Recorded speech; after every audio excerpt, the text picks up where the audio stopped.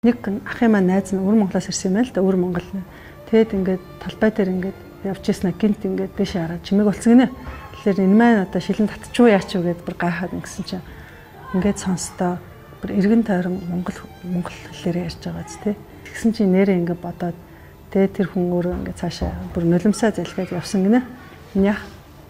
Нэрэл ингээд бид нар одоо эргэн тойрон дандаа монголоор ярьж байгаа тий энэ ста бүр энд гайхамшиг биш гэж үү те. Тэгэхээр ингээд одоо өвөр Монголд ч юм уу те ер нь бол бүх ингээд Монгол нутагтан хүмүүсийг монголоор нь ярихыг одоо хүлээмжшүүрэхгүй тийм үү? Хоригддаг цаг үе бол ирсэн те. Тэгэхээр монголоор ярьж байгаа монгол их хэллээрээ бидний хүүхдүүд гадаа тавлж байгаа. Энэ бол маш том маш том чухал юм шүү те. Энийгээ л хайрладаг юм шүү. Нандин юм шүү гэж та ялангуяа сайхан монгол хэлээр ярих